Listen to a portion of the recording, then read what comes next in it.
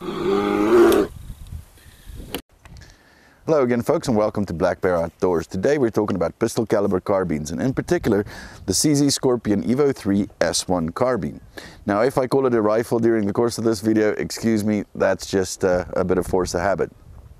Now CZ really doesn't need any introduction and they've been around since 1936 and they've been making firearms for, that range from hunting rifles to military rifles to pistols to submachine guns and they all have one thing in common, quality. One of their most iconic offerings is probably the CZ75 pistol, which is still in uh, service today around the world, as well as some of the variants of it that are so popular amongst the competition shooters, especially in the production divisions like the Shadow and the Shadow 2. CZ first introduced the Scorpion Evo 3 S1 as a pistol variant in 2009, and more recently, the carbine version of that was born with a longer barrel. So what we're going to be doing guys is we're going to take it inside, take a closer look at the features it offers, then we'll bring it back out and we'll ring some steel with it and we'll uh, throw a whole bunch of different kinds of ammo through it to see how well it functions. Stay tuned.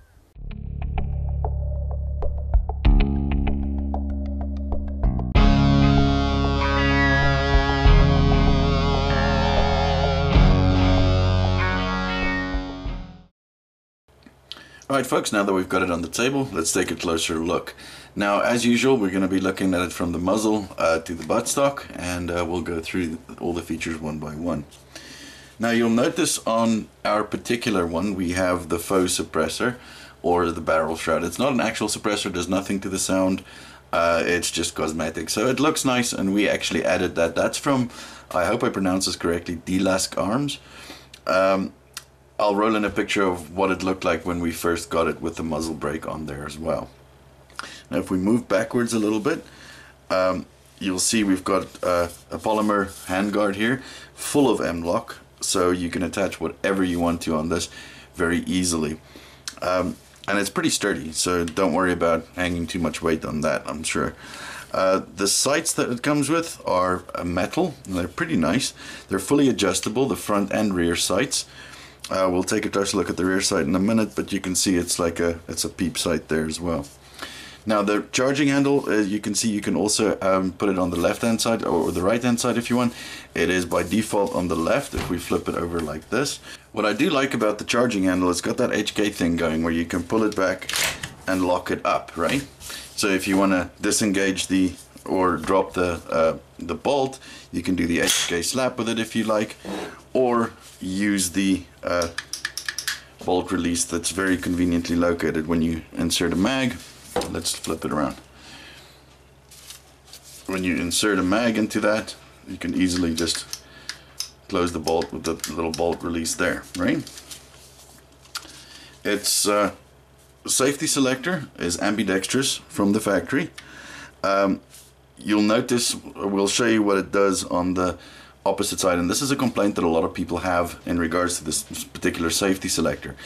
So if you move from safe to fire it digs into your finger there as you can see which is pretty bad. And that's a very easy fix like we did with this one is you can just put a safety delete in there so on whichever side is your off off side right now uh, it's got a couple of uh, sling attachments. It's just loops there, so it's not QD points. Just be aware of that. It's got a full Picatinny rail at the top as well, so you can mount any kind of lights or lasers or whatever you feel like doing there. And uh, yeah, it's got a nice and uh, forgiving magwell. It's kind of flared out there. Very easy to seat magazines, and I'll show you. Very easy to your magazine. This is an empty one, of course. Um, you also notice that we manipulate the firearm, all the safe directions predetermined and it's been cleared before we started. Okay, so the mag release is pretty cool uh, because you can do it in two different ways. Now, if you flip it over like this, you can either, when you release the, uh, or remove your mag, use your thumb to release it. Make a little paddle. Or you can use your trigger finger or middle finger to pop it out that way. So it's fully ambi, and that's pretty cool the grip angle is pretty severe. Um, for some people, they say they don't like it. Uh, for me, that's not a big issue. Really didn't bother me. I will probably put a Magpul one on there with a slightly less uh, less of an angle, just because I'm more used to that kind of A2 style grips, right? Uh, the, the trigger pull from the factory, let's take a quick look. Alright, so here's the factory trigger pull. It's a little bit heavy. And there it breaks. See the reset. Pretty heavy, but uh, that's how it goes. Alright, so the rear sights are, uh, I hope you can see those. Um, they are a peep sight with a whole bunch of different apertures. I think there's about four of them in varying sizes. So uh, and it's fully adjustable as well. So pretty decent uh, iron sights that you get from the factory on this. And moving back to the buttstock here, uh, you will notice that the kind of slope that it has here, it's really nice actually because of the that contour allows you to get in behind the, the sights that are pretty low on the on the actual Picatinny rail there. You can of course remove them and put your favorite sights on there if you like as well. The stock is uh, adjustable for length and pretty neat feature is it's a folding stock. It uh, attaches with a magnet so it doesn't lock into place with a clip or anything like that. It's just magnetic but it's nice and sturdy. You can see it uh, it's pretty solid. Stock itself is pretty solid too. Nothing to complain about there. I really like the magazines it comes with. It's very sturdy and it's quite affordable. It is a proprietary mag, uh, but unlike uh, you know normal pistol mags, it's probably half the price, right?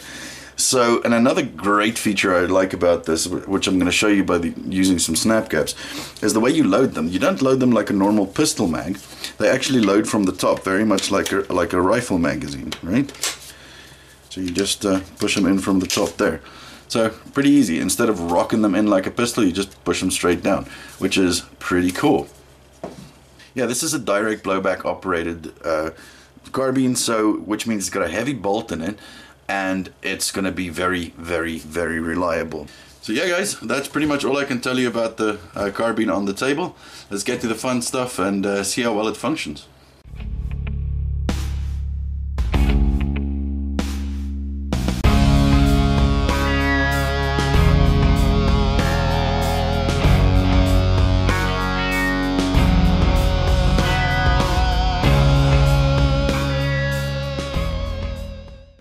Right, folks, here we are outside with the CZ Scorpion. Uh, we've got a couple of uh, IPSC two-third size uh, AR500 steel targets out in the field here. So the first thing that we're going to do is we're going to send out the drone to show you where they're located, and we'll get right to it.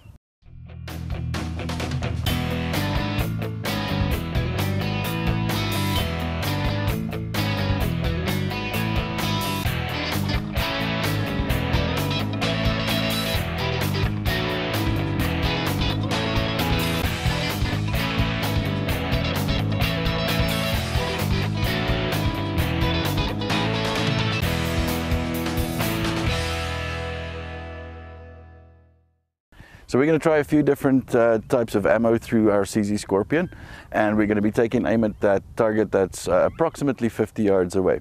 First up is going to be our Blazer Brass 115 grain ammo. Let's see how it goes.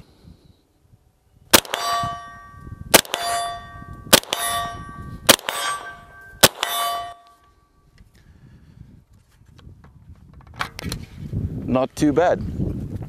Just bear in mind, we have not uh, adjusted the sights at all. It's just factory sights as is. Next up, we're going to try some 124 grain Syntech ammo from Federal, and it's those uh, red coated ones.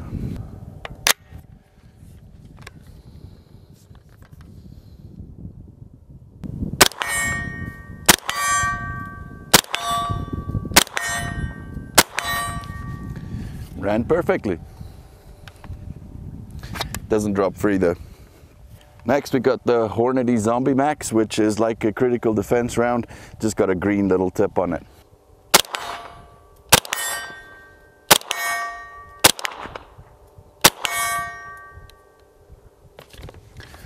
Perfect. Next up we got uh, some 115 grain full metal jacket Magtech ammo.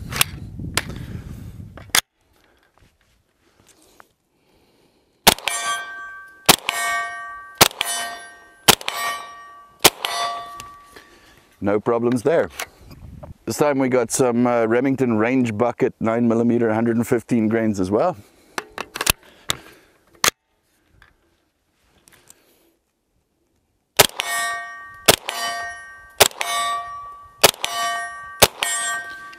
No problems, runs, runs like a champ.